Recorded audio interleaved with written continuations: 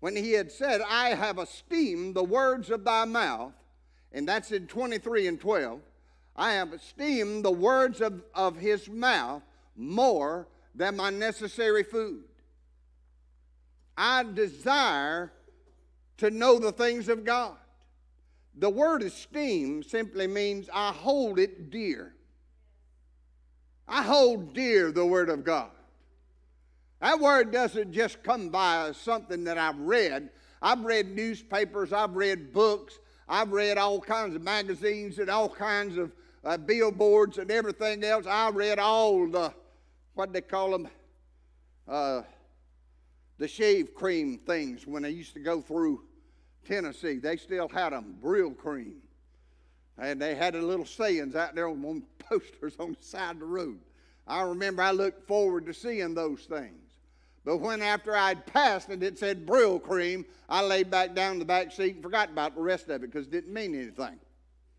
But when I read the Word of God, it becomes a light. It becomes a light unto my pathway. It's a lamp. It is there to guide and direct me.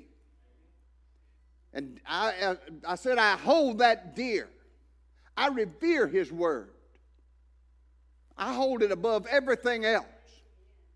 I don't care what somebody of a learned scale, I don't care how many PhDs or DDs or, or whatever they have behind their name, when they get done, my response is yes, but the Word of God says. And that settles it. I don't care. We got a new telescope up there. I don't know why that thing worked. I don't know why they have it up there. I think we paid 10 or 12 billion dollars for that thing.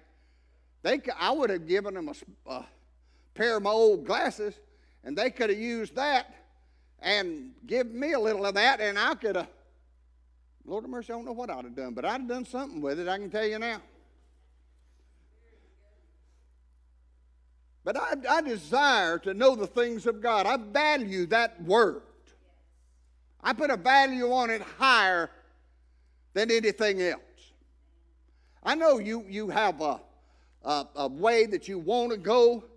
And like I said, I, I, I don't care what they have to say. I don't care who it is or how educated, educated they, they may be. That don't mean anything to me. That, that means absolutely nothing. I've heard, and i have mentioned this before, that I went to the Bahamas.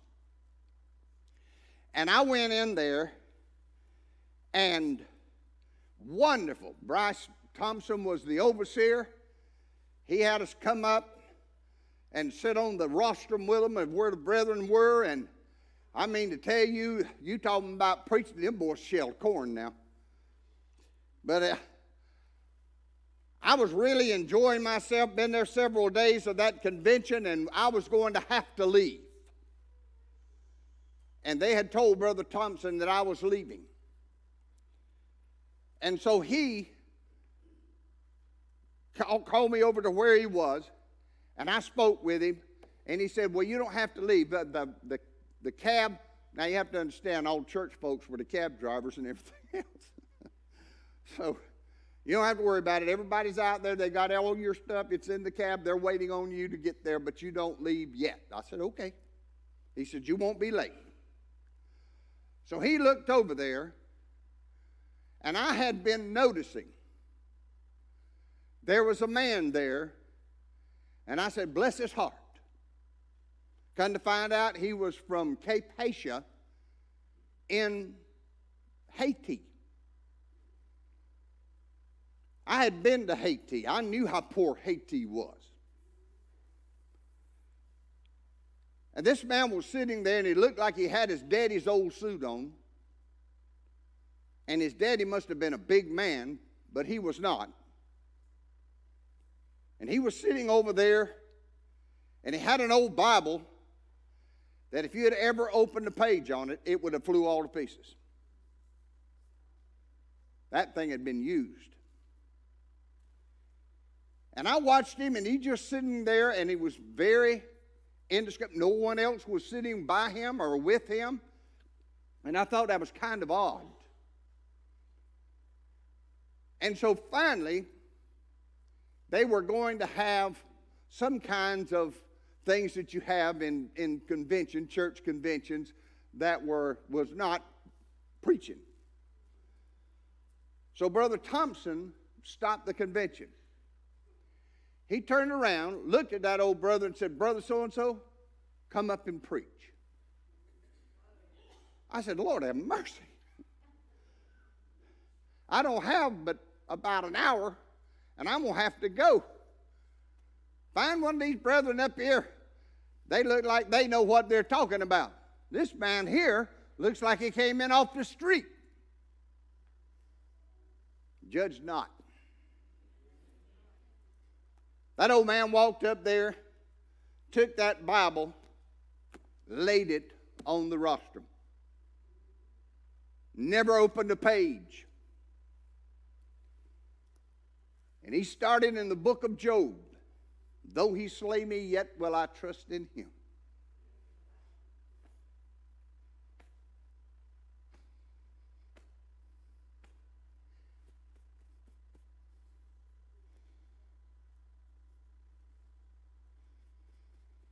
That word still touches me today.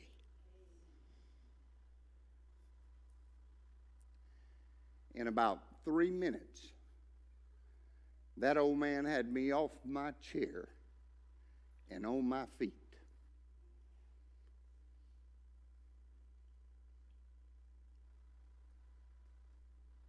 When he finished and I started to leave, I'd gone over with Bishop Mackey from Miami. We pastored in Miami. He pastored one church, I pastored another. And I said, Brother Mackey, who in the world was that old man? He just smiled. And he said, he told me his name, told me where he was from. Said he comes every year to the convention. He said, Old Brother Moss, that was Brother Bryce Thompson's dad, when he was the overseer. Things would get down, things would get where they just weren't, they weren't gelling, they, they was just not there. He would turn to him, and it didn't matter when, day or night. Brother, come up and preach. And he would set that thing back on its path. The things that we look at and the things that we hold dear, or we revere, or we value, or we admire in ourselves has nothing to do with the things of God. But when we turn around and we say, Lord, I esteem, I hold dear I revere and I value thy word more than my necessary food. For the Bible said, What does it profit a man though he gain the whole world, but that he lose his own soul? What, what does it profit? Where does it, where does it, where's the finality of that? What, what good is it that does? I, I watch television or I, I listen to things or tapes or whatever have you of people. And Brother Danny can tell you if you've ministered very long, it doesn't take long for you to know whether that's right or that's not right. Now, I'll admit I'm not the sharpest tool in the box. You can come to me and say, Brother Clark, I didn't know that looked like that. So I thought it looked like this over here. We'll talk about it. And if the way you look at it look better than what I did, then I'll tell you that. But I watch these and I hear these, and my heart breaks for two things. Number one, they're selling their birthright. We have a birthright, and that's in Jesus Christ. He gave us that. He did it at Calvary. He gave us a birthright. Now we can reject that and sell it off if we want to. Or we can hold on to it and cling to it and say, I don't care what else comes about, I'm going to hold on to the things of God. That's where we have to be. And I listened to these things, and I said, two things come to mind when I hear these. Number one, they're preaching a false doctrine. They know they're preaching a false doctrine. They understand that they're preaching a false doctrine. But because of fame, because of a little money, because I feel like I am important, whatever the cause may be, whatever the circumstance may be, there's no excuse. And the second thing is I look out there and by the tens of thousands, they're following them blindly. And they're deceiving. And they're doing nothing to enrich these lives, but they're giving them a destiny which is hellfire. David said, Therefore I esteem all thy precepts concerning all things to be right, and I hate every false way. Whatever it is, whatever the problem is. David said, I, I, I, I value the precepts of God. When we have a minister get up and preach the Word of God and read from the Word of God, and that Word of God touches our heart and our life, we need to be adherent to it.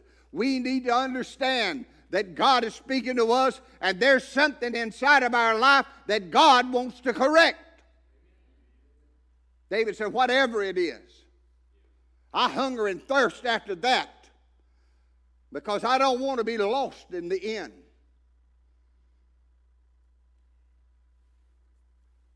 David said, Thy testimonies are wonderful. Therefore doth my soul keep them. The entrance of thy words giveth light. It giveth understanding unto the simple. Praise the Lord. I opened my mouth and panted, for I longed for thy commandments. I thank God that I'm not a, that God did not put me as a ship with no rudder, no sail, just turned loose out here on the waterways with no direction, no guidance, no pilot, no nothing else, but just go and have a good time. No, sir. That's not what God did, and that's not what He does. I thank God for that. Now, you may say, oh, well, I don't like it. I don't like it when they come up there and say, Thou shalt not, and all these other things. Well, let me tell you something. The reason that's in there is that if you do, you're going to have a problem. It's not to keep you from having fun. You may tell you the happiest people I ever been around in my life? Children of God. Amen. You ever been, I call it a shout down meeting. I'm talking about, I'm not talking about just because somebody sang a pretty song. I'm talking about where the power of God came down. Amen. Not just a feel good service. Now we're going to have a flag march or something. I'm talking about when the power of God comes down and the glory of God fills the place and the Shekinah glory of God begins to touch hearts and lives and people have to get up and they have to move. Why? Because God is in the thing. Amen. I love that. I yearn for that. I long for that. But you know where that starts? Lord, let thy word be a light unto my pathway and a lamp unto my feet. I hunger and thirst after the things of God. I don't want to be away from what God has for me. The second thing, when we look at this, we understand where uh, in Proverbs where Solomon was talking, that the fear of the Lord is the beginning of wisdom. The fear of the Lord is the beginning of wisdom. I understand the things of God. Why? Because God loves me and He speaks to me. He uh, encourages my heart and my life. He drives that into me day and night. When I rise in the morning, God is there. When I lay down at night, God is there. When I'm out in the world, God is there. There's all kinds of sin. There's all kinds of temptation. There's all kinds of ways that seem right, but we know that those ways are the ways of destruction. Why? Because God's Word has instructed us in that. I'm not left, left alone. I'm not a, a, out here just floating wherever, just kind of just ad hoc, whatever. No, sir. I have the Word of God, and that Word of God lives in my heart and my life. Amen. I thank God that every time that I'm over here and there's something going on that should not be going on, and I'm over there in the middle of it, I can all of a sudden the Spirit of God will say, Boy, you need to run.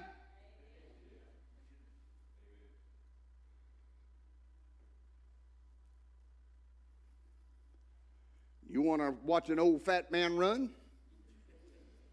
Be there. Amen. I've got to move. I can't stay there. Why? Because that word is still here. I've heard the word all my life. It was preached. I used to have a pallet. Us kids, that's where we stayed. We were infants. If you were a farmer's daughter's child, when the farm came around, everybody got out. Daddy got out. Mama got out. The farmer got out. Everybody got in the field because we had to have the thing done now. We couldn't wait. Mama just got through having a baby. That's good. That's why they made cardboard boxes. Amen. They'd put the cardboard box at the end of the road, throw an old blanket or something inside of it, throw the baby in it. They went to work. You laid there in that box. When we came to church, you didn't say, Well, I just had a baby, and so about I get six weeks off, and I have about eight months to wait after that, and about nine more, I'll, and I'll come on in. No. You came in with that baby, everybody was all over the baby. Okay. And then when it all got through, here came that nasty old blanket out again. Laid that blanket down on the floor, right there under the pew. Throw the baby on it.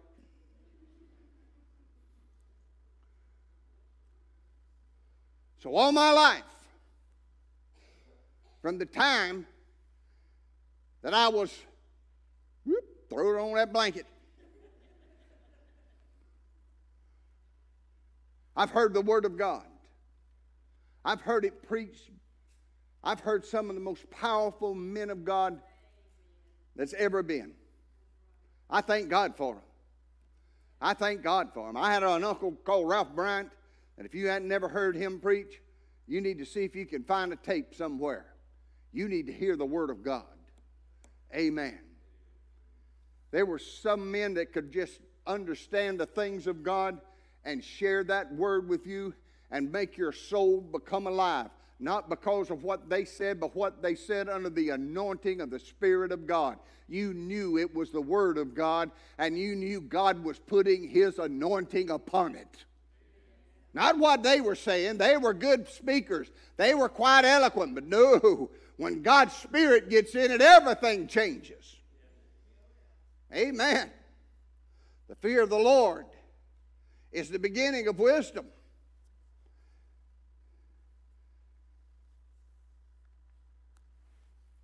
James said in the fifth, first chapter, the fifth verse, that if any man, any of you lack wisdom, let him ask of God, who giveth to all men liberally, and upbraideth not, and it shall be given him. You need wisdom, you need the Word. You need to understand the Word of God. Well, I don't understand what it's saying. You haven't read it. Well, I read it and I didn't understand it. Well, that's good. Read it again. I still didn't understand it. Read it again. Because after a while, that word will start speaking to you. Because you'll get out of yourself and get out of the things of the world and get what uh, they doing there on that reality TV show, and you'll get all that gone, and you'll get over here into the Word of God, and then the Spirit of God will open that Word unto you. You can't get it on your own. This thing is not of the world. Praise God, it's of God. And you know, James, when he was speaking this, go back up to the second verse. Three minutes.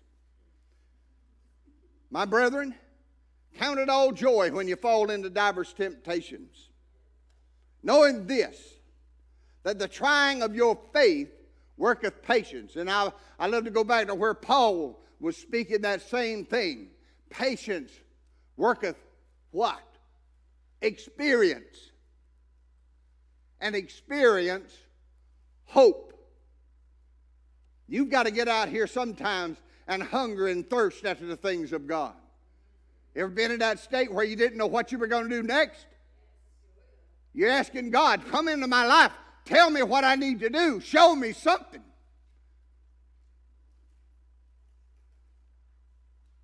You got to esteem the word of his mouth. You got to hold it dear. Knowing this, that the trying of your faith worketh patience. But let patience have a perfect work, that ye may be perfect and entire, wanting nothing. Now, we come into this verse. If any of you lack wisdom, let him ask of God, that giveth to all men liberally and upbraideth not, and it shall be given him. There's always a caveat to something. In other words, you don't just go over here and God go ahead and give it to me. i am okay. I'm here right now. Uh, you know we got to go to the beach pretty quick, but I, right now I'm right here. And if y'all go and tell me, and I'll go with you. But the Bible said, if any man lack wisdom, let him ask of God that giveth to all men liberally and upbraideth not. He won't hold anything from you or against you, and it shall be given him. But let him ask in faith. Don't come up there before God and just babbling off things out of your mouth. But let him ask in faith, nothing wavering. For he that wavereth is as a way of the sea, driven with the wind and tossed. For let not that man think that he shall receive anything of the Lord. Don't go out here and think, well, I, I, I had family I knew one time, they had some mean youngins. And grandma was probably meaner than all the youngins put together three times. And so they were there, and I was called the preacher.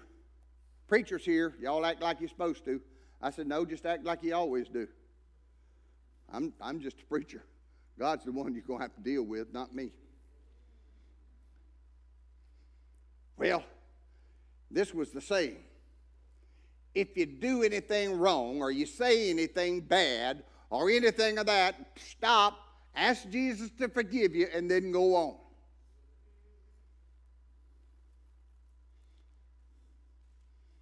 I said, that may fit right in some circumstances, but when you told it, it was a lie. That's not how this thing works. For let not that man that think that he shall receive anything of the Lord. For a double minded man is unstable in all his ways. Lord, I esteem thy word more than my necessary food. Whatever it is, you know what he's talking about? Everything of my life. All the gold, silver, all of that means absolutely nothing in comparison to having the Word of God. Having that Word pinned on the tables of my heart. I have to have that. I can't live without it. I hunger and thirst for it. Why? Because my God is so rich, so full, and so free. What a good thing that God gives us. All we have to do is believe on Him. Praise God. Not think about Him, believe on Him. That's all. He will give you the desires of your heart. What is the desire of your heart today? Is the desire of your heart today to know Him? Paul said, Oh, that I may know Him. Paul, you're an apostle. I need to know Jesus. I need to know more of Him. I hunger and I thirst after Him. Why? Because He's God. And it is He that loves me and He that went to Calvary and took my sin and bore it on that hideous cross. I love God because He first loved me. Our Father God in heaven, I thank you for this day. I thank you for the season. What, what a hope we have. Lord, there was a baby that was laid in a manger. And oh God, from the very beginning, men came to worship him, came to give all they had before him. And follow, they father they followed him, followed him all the way to Calvary. And Lord, we have seen his rising back into heaven in our heart. And Father, we're anticipating with great expectancy that eastern sky to split any moment and for you to come back and to receive us unto yourself, that where you are, we can be also. Father, I pray if there's one that's in this house that doesn't know you in that way, as you are speaking to that heart, Father, I ask them to come and receive. Come and receive. Ask Him to come into your life. Ask Him to forgive you of your sin. And the Bible said that He is just to forgive. We don't have to go to another. He is the just sacrifice. And Father, I ask you right now, be with us this day. Bring us back at your appointed time. Let us remember these that have gone on. Lord, these that are still tender in our hearts. Let us be remembered of these. And Father, we'll bless you in Jesus' name. Amen. Thank you, Lord.